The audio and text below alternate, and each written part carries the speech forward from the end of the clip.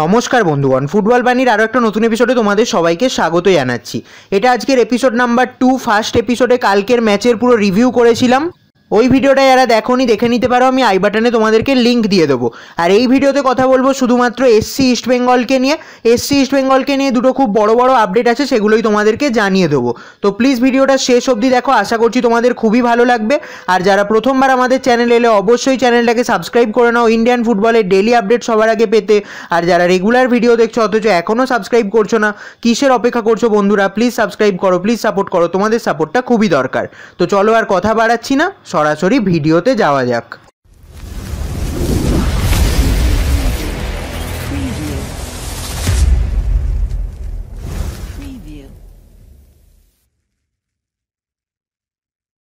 তো বন্ধুরা, প্রথমে যে আপডেটটা দিয়ে দেবো, সেটা এসসি ইস্ট বেঙ্গলের অ্যাসোসিয়েট স্পন্সার নিয়ে তোমাদেরকে দু তিন দিন আগেই জানিয়ে দিয়েছিলাম যে এসসি ইস্ট বেঙ্গলের অ্যাসোসিয়েট স্পন্সার হচ্ছে টপটেক টিএমটি বার এটা টপটেক টিএমটি বারের যে ফেসবুক পেজ আছে, সেখান থেকে জানানো হয়েছিল। এরপর তোমাদেরকে এটাও বলেছিলাম যে যখনই এটা এসসি ইস্ট বেঙ্গলের তরফ থেকে অফিসিয়ালি জানিয়ে দেওয়া হবে, তখন তোমাদেরকে আরও একবার জানিয়ে দেবো।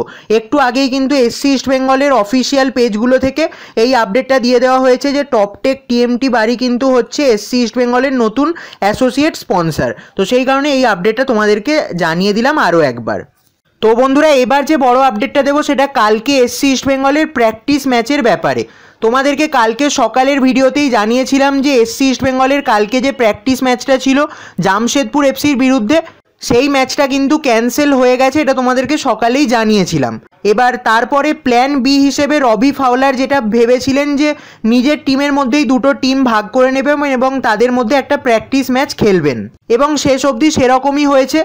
রবি ফাউলার নিজেদের সমস্ত প্লেয়ারকে দুটো টিমে ভাগ করেছিলেন এবং কালকে একটা দুর্দান্ত প্র্যাকটিস ম্যাচ খেলে নিয়েছেন। এটিকে মোহনবাগান এবং কেরালা ব্লাস্টার্সের ম্যাচের আগে। সেই ম্যাচে যেটা স্ট্যান্ড আউট পারফরমেন্স সেটা অবশ্যই বলতে হবে জ্যাক ম্যাগোমার পারফরমেন্স এই কঙ্গো ন্যাশনাল টিমের প্লেয়ার জ্যাক ম্যাগোমা সরাসরি এসেছেন বার্মিংহ্যাম সিটি থেকে। দীর্ঘ পাঁচ বছর বার্মিংহ্যাম সিটিতে একশো আটষট্টিটা ম্যাচ খেলার পর সেই বিশাল অভিজ্ঞতা নিয়ে তিনি ইন্ডিয়াতে এসেছেন এসসি ইস্ট বেঙ্গলে খেলতে। এর আগে প্র্যাকটিসে তো দুর্দান্ত পারফরমেন্স দিচ্ছিলেনই, সেটা তোমাদেরকে আগেও একবার জানিয়েছিলাম।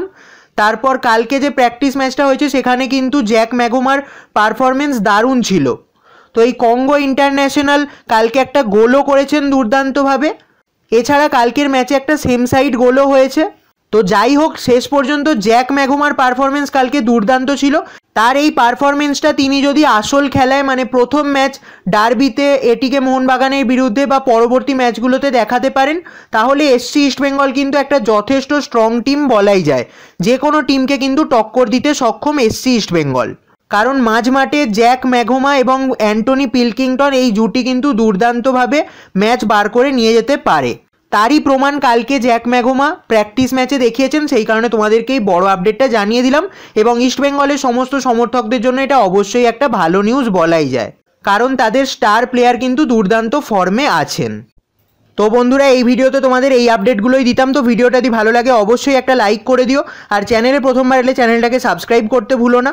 সাবস্ক্রাইব করার পর পাশের যে বেল আইকনটা আছে, সেটা অবশ্যই অল করে দিও। তাহলেই তোমরা পরবর্তী ভিডিওগুলোর নোটিফিকেশান সবার আগে পেয়ে যাবে। আর নিচে কমেন্ট করো ভিডিওটা কেমন লাগল, কোনো সাজেশন থাকলে সেটাও জানাতে পারো। আর ভিডিওটা বন্ধুদের মধ্যে অবশ্যই শেয়ার করো। তো চলো, আজকের মতো ভিডিওটা এখানেই শেষ করছি। দেখা হবে আবার পরের ভিডিওতে। ততক্ষণের জন্য, টাটা।